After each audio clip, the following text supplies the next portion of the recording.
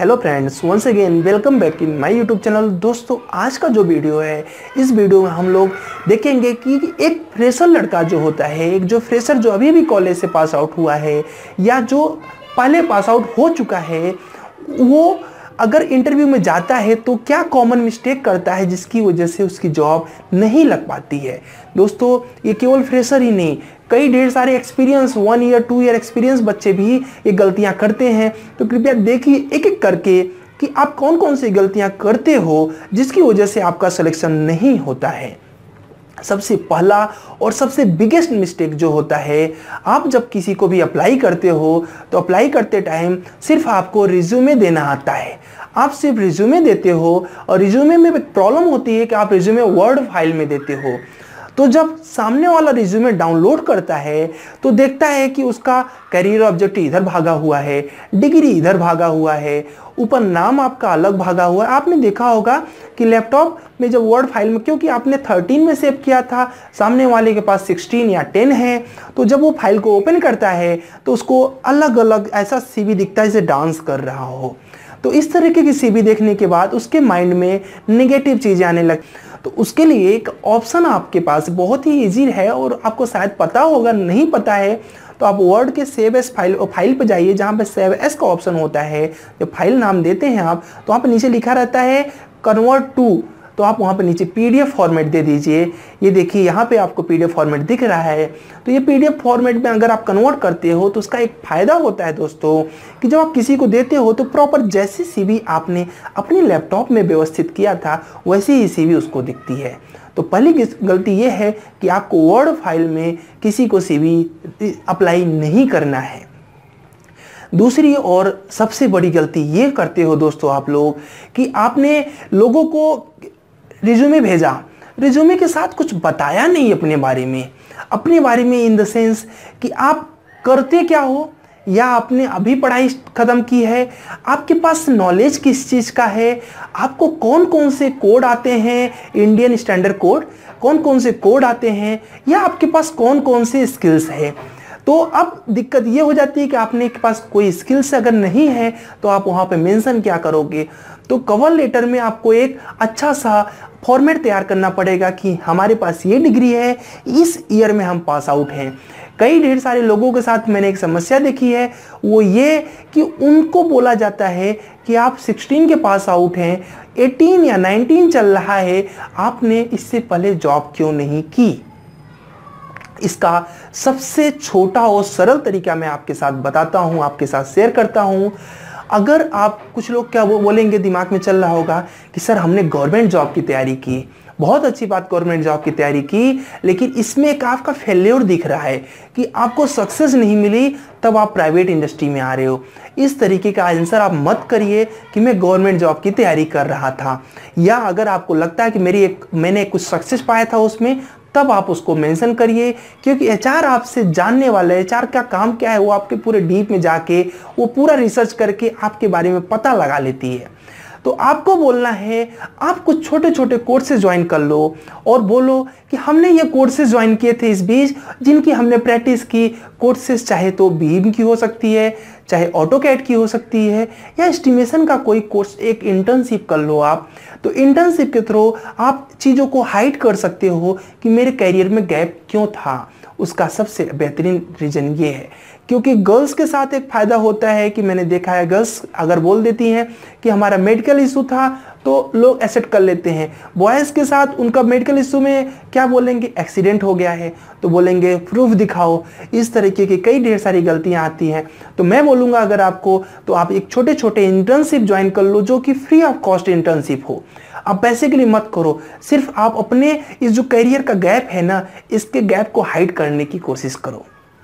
दूसरा, अगर आप फ्रेशर हैं तो आपको हाइड करने की ज़रूरत ही नहीं है, लेकिन आप बोलिए कि हमने टाइम वेस्ट नहीं किया, जैसे ही हमने इंजीनियरिंग कंप्लीट किया, हमने ये सर कोर्स ज्वाइन कर लिया और हमने इस पे प्रैक्टिस की है और मेरी स्पीड ऐसी है। ये आपका दूस, तीसरा सबसे ज़्यादा मिस्टेक वाला चीज़ होता है चौथा जो आपका सबसे ज़्यादा मिस्टेक ये होता है कि आप जब कंपनी में जाते हो तो कंपनी की एच आपसे एक सैलरी एक्सपेक्टेशन का क्वेश्चन पूछती है कि what is your salary expectation आपके दिमाग में अभी अभी आपने पास आउट किया है अपने इंजीनियरिंग को तो आपके दिमाग में ये चलता है कि इंजीनियर को 25 से तीस हज़ार रुपये तो मिलना ही चाहिए। हाँ जी, मिलना चाहिए इंजीनियर को 25 से तीस हज़ार। पर जो अभी इंडिया का सिनेरियो है, इसमें आप देख रहे हैं कि हर साल कितने इंजीनियर आपके साथ निकल रहे हैं। तो अगर 25 से तीस हज़ार रुपये का अगर लोग आप देखोगे तो आपसे कम में पैसे में काम करने के लिए बाहर लोग तैयार हैं तो आपकी पूछ वहाँ पे कम हो जाएगी।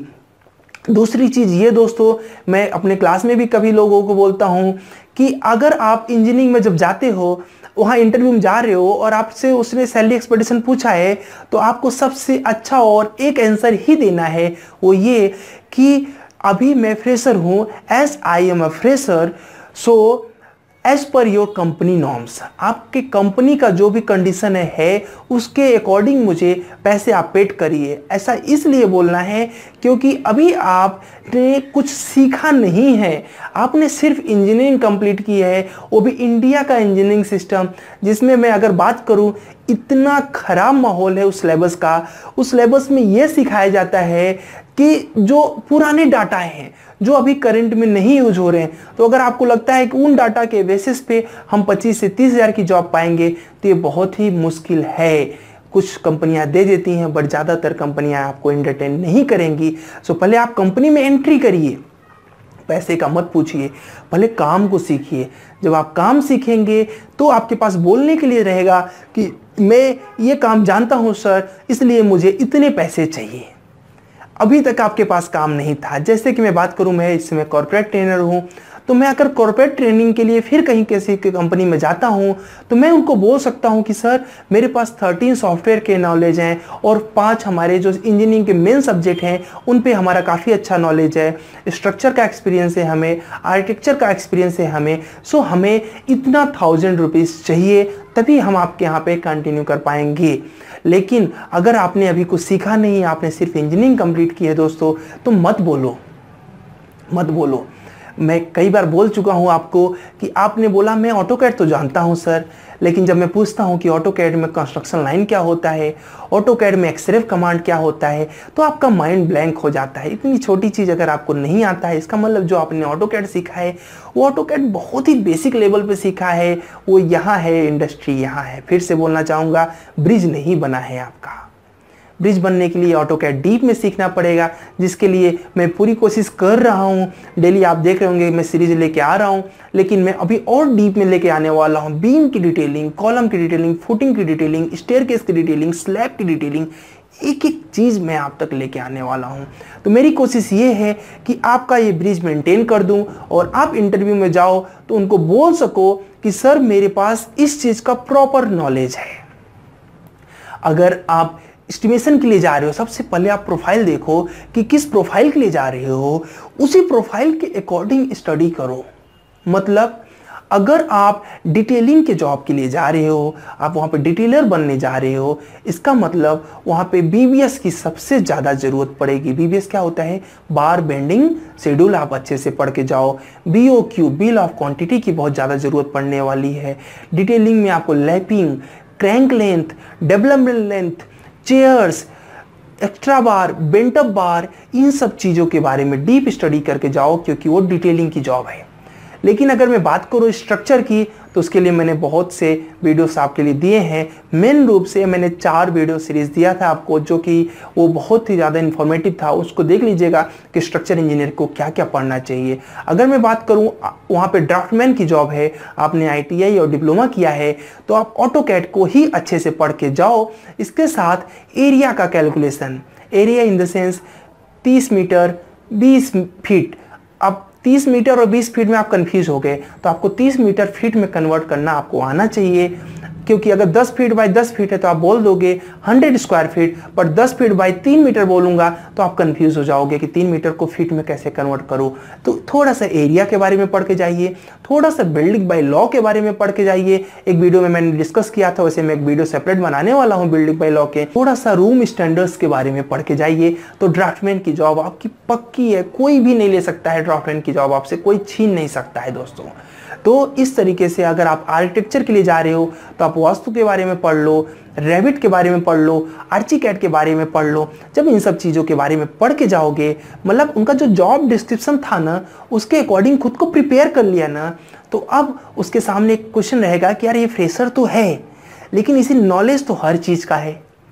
अभी तक आपके पास क्या था? आप जस्ट डिग्री लेके जाते थे। मैं आपको बता दूँ, डिग्री का एक रुपये नहीं मिलने वाला है आपको। आपको नॉलेज का ही मिलेगा स्किल्स का ही मिलेगा। जो स्किल्स है, उसके अकॉर्डिंग आपको पैकेज मिलेगा। सो प्लीज़ आप स्किल्स को डेवलप करो और स्किल्स के थ्रू ही आप आगे जाओगे।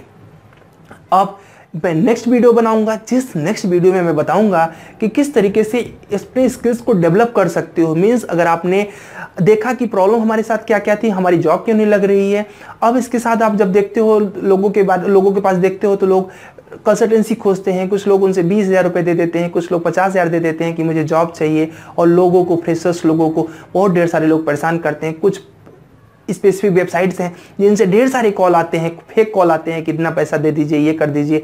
वो सबसे अच्छा है कि आप स्किल्स अच्छे से करो। इसके बाद नेक्स्ट जो वीडियो आएगा, जिस वीडियो में मैं बताऊँगा, अगर आपका स्किल्स आप स्ट्रॉन्ग कर लिए हैं तो किस तरीके से अप्लाई करें कि डायरेक्ट आप कंपनी के कॉन्टेक्ट में जा सकते हैं। इस वीडियो में बस इतना ही। मिलते हैं हम लोग नेक्स्ट वीडियो में। कैसा लगा ये वीडियो और टेलीग्राम ग्रुप के लिए मैं बार बार बोल रहा हूँ, उसको ज्वाइन कर लीजिए। वहाँ पर बहुत ही इन्फॉर्मेटिव चीज़ें शेयर की जा रही हैं। सो प्लीज़ उसको जल्दी से ज्वाइन कर लो। और ये वीडियो अगर आपको अच्छा लगा तो वंस अगेन आपसे कोई फ़ीस नहीं है, सिर्फ़ इतनी फ़ीस है कि आप इसको शेयर कर दो अपने फेसबुक और इंस्टाग्राम या व्हाट्सएप पेज पे। बहुत बहुत शुक्रिया इस वीडियो को देखने के लिए। जय हिंद दोस्तों।